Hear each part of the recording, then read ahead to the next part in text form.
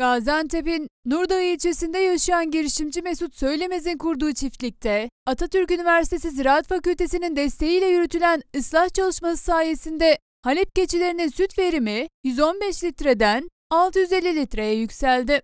Bizim süt miktarları biz bu sürüleri aldığımızda ilk yıl e, 115 litreyken süt miktarı şu an 650 litreye çıktık.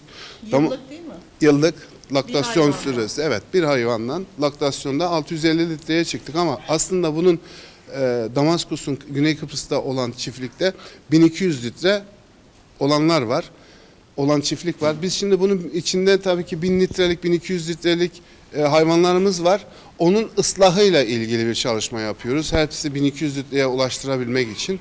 E, hayvanların e, buna ulaştırmak için yapılan çalışmalarda çok zorlanıyoruz tabii ki. E, hem bunu yap hem sütü değerlerinde satama.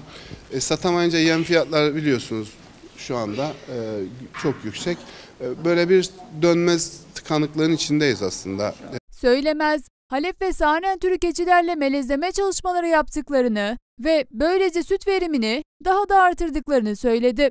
Bu arkadaşımız Kanada'ya gittiğinde e, Zanen sperması getirmişti bize. Getirdiği spermalarla biz e, şey yaptık. E, bu e, şeylere, Damaskuslara deneme yaptık ilk yıl. E, üç tane yavru elde ettik. İlk, ilk üç yavrunun bir iki tanesi dişiydi, bir tanesi erkekti. O iki dişiden biz ilk yılda 1200 litre süt aldık. İlk yılda. Biz şimdi buna 7 yıldır çalışma yapıyoruz. 7 yılda 650 litreye getirmişken o melezleme çalışması sonucunda ilk yavrudan 1200 litre süt aldık.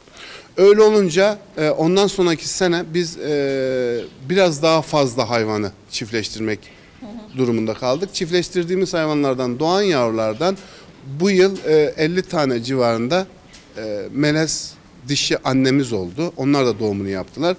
Şu anda günlük 4 litrenin üzerinde e, süt veriyorlar. Neredesin sen? Oğluma.